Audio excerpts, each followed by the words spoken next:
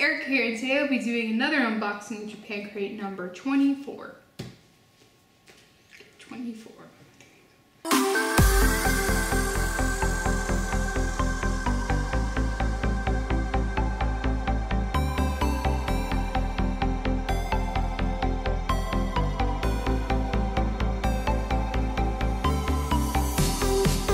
Visit SomeKindofGeek.com, your one-stop shop for collectibles, gear, tech, and more.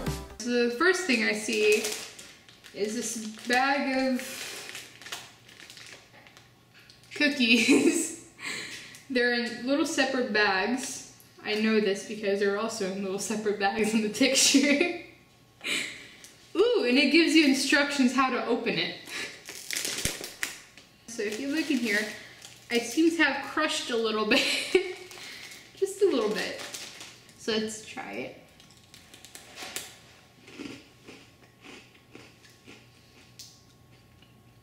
I just learned it's not a cookie.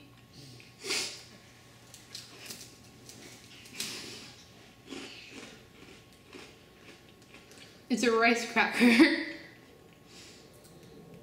yeah. It's a sweet rice cra cracker. The next thing is stick lipstick. Oh, lollipop candy ice stick lipstick. Nice, it has assorted flavors too. I determine the flavors.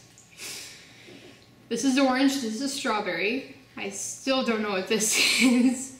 So the next thing is, oh, it's probably one of those um, little bread pieces from from the last episode. Most likely. It feels like it too. little croutons. It is a little, wait.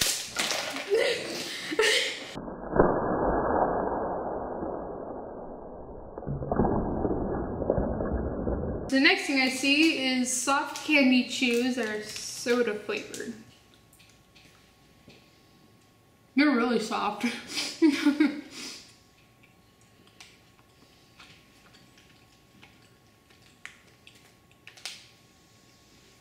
they taste like any other soft candy chew that tastes like soda. Nothing special to it except for the soft part. I like the soft part. And the next thing I see is steak. Sankaku crackers. They look like little Doritos. they look like Doritos in form of crackers. So they come in like little trays. It has vegetables in the front of the package. I guess it has like chopped vegetables on it or in it. Not to complain, but it's, re it's really good. I'm not complaining. It's actually really good. I think I taste some spinach in there.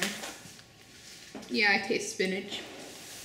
So this is a Anpanman soft cracker. These are soft crackers. The candy is obviously soft candy. The crackers here are triangular cracker vegetables. And this is mochi taro salt. So this is salt flavored. Pretty salty. And this is ice stick lollipop.